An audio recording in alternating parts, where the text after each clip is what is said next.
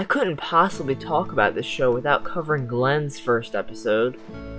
Rick escapes the tank only to find he's only brought on some more trouble for a group of survivors, consisting of Glenn, Andrea, Morales, Jackie, T-Dog, and one half of the Dixon duo, Merle.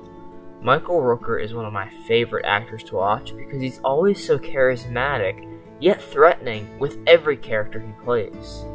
Another unique thing we see in this episode is the very first use of the Walker Guts trick. In an attempt to find a getaway vehicle, Glenn and Rick lather up in some Walker Guts to make their way through the Walkers. Of course, things don't go according to plan, leading to a highly intense scene of Rick and Glenn trying to make their way to safety. Rick handcuffs Merle to the roof, giving T Dog the key, and in another key moment from this episode, T Dog loses the key. I think it's a really dramatic moment, and I actually want to put a spotlight on it because Merle beats the shit out of T Dog at the beginning of this episode, and mm-hmm. towards the end of the episode, you do see T Dog kind of have a little bit of remorse, or at least part of him feels bad that he has to just leave this guy on the roof to die. Rick, thanks. Glenn, you're welcome.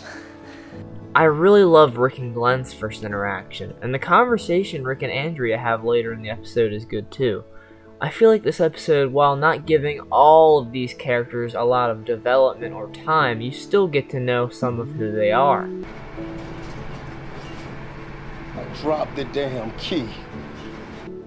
I also love that there's a walker using a brick to try and make his way inside where the group is holed up at. They actually brought this back in the series finale too, so it was fun watching that back.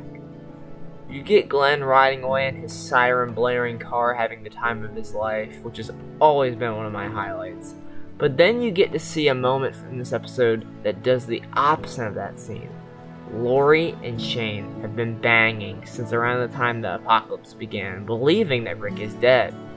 I don't think Carl has caught on to it at this point, so it's really shady that they're just doing this behind his back. This would start fans' hatred for Lori's character, but Bernthal brings something to the role of Shane that makes him impossible to hate on for too long.